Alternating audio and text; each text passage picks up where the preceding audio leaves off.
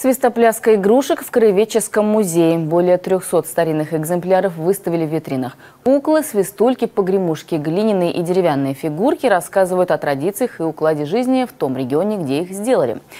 Почему для экспозиции выбрали такое название, что такое шаркунки и кому их дарили? Виола Янгаль узнала много интересного, побывав на выставке. Все игрушки на выставке уникальны, трогать руками их нельзя, поэтому рассматриваем их за стеклом. Наше внимание привлекли вот такие деревянные игрушки. Мы не поняли, что это. Оказалось, это шаркунки. Их изготавливали из мягких пород деревьев, у них внутри горошинки. Поэтому это и музыкальный инструмент, и 3D-пазл, и погремушка. Их дарили семьям, у которых родился ребенок. Если это была девочка, то на верхушке погремушки изображали птичку. Если мальчик, то коня. Люди во все времена изображали в игрушке то, что их окружало – повседневный труд, праздники, сказки и юмор. И необычное название выставки «Свистопляска» не случайно. Народная игрушка, она именно такая квинтэссенция, э, конечно, позитива, вот какой-то постоянного эм, надежды, юмора, ярких красок, то есть как ожидание именно весны и э, надежды на будущее.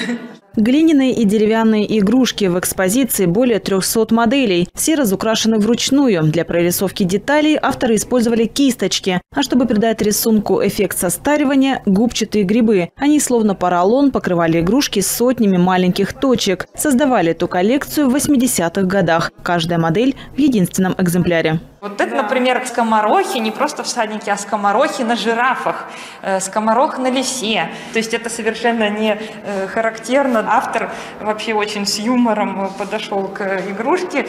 В залах музея узнаваемые образцы дымковской, каргопольской и староскольской игрушки.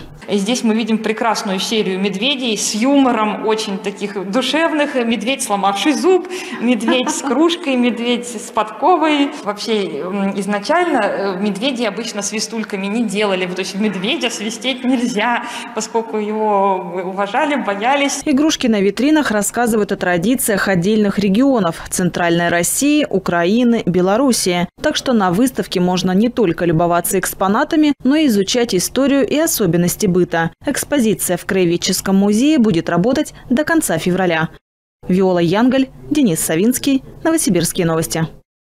Спасибо, что смотрите канал «Новосибирские новости». Мы рады предложить вам интересное и полезное видео.